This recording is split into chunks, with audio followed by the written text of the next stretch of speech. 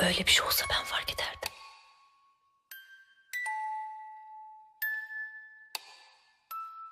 Her gün yüz yüze baktığımız evli barklı çoluk çocuk sahibi adam.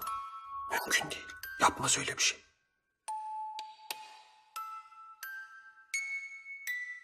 Al sana hayal dünyasında yaşayan, dikkat çekmeye çalışan bir öğrenci daha.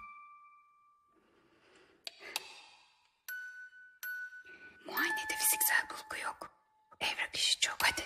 Tamam.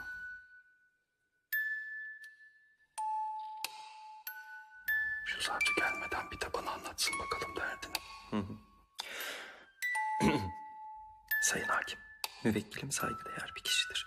İhale indirimi talep ediyoruz.